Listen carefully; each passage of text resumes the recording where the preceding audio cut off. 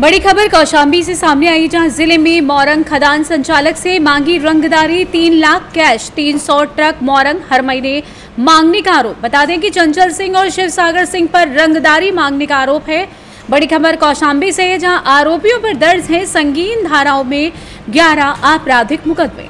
बता दें, पट्टी धारक अरुण त्रिपाठी ने डीएम एसपी से की शिकायत। शिकायत के बाद भी आरोपियों पर कार्यवाही नहीं करने का लगाया आरोप।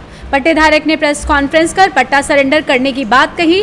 पूरा मामला महेवा घाट थाना के रामनगर महेवा मोरंग खदान का बताया जा रहा है। बात ये थी कि मैं पट्टा धारक हूँ और तीन महीने से पट्टा चला रहा हूँ वहाँ।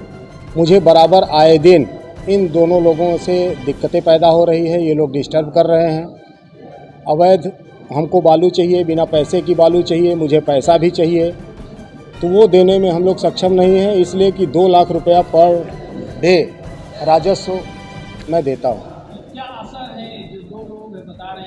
इनका क्षेत्र में नाम क्या इनका क्षेत्र में तो मैं अभी जब पता किया जब इधर एक हफ़्ता से तब पता चला कि इनका आपराधिक इतिहास है।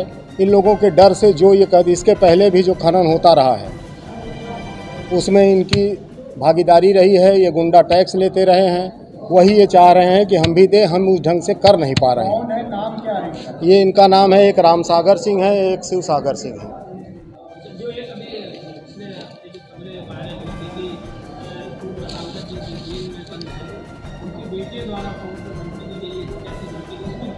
नहीं, किसको, हमको?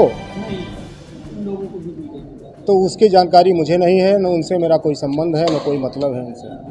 को नहीं तो खबरदार उनसे हमारा कोई मतलब ही नहीं है मेरा पट्टा अलग है मेरा काम काम अलग है उनसे कोई मतलब नहीं है इस पट्टे से।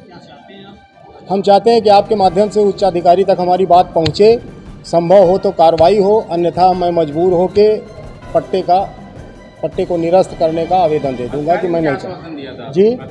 अधिकारी ने कहा कि मैं जाँच कराता हूँ मैं कार्रवाई कराऊँगा। नाम बताएँ अरुण कुमार त्रिपाठी।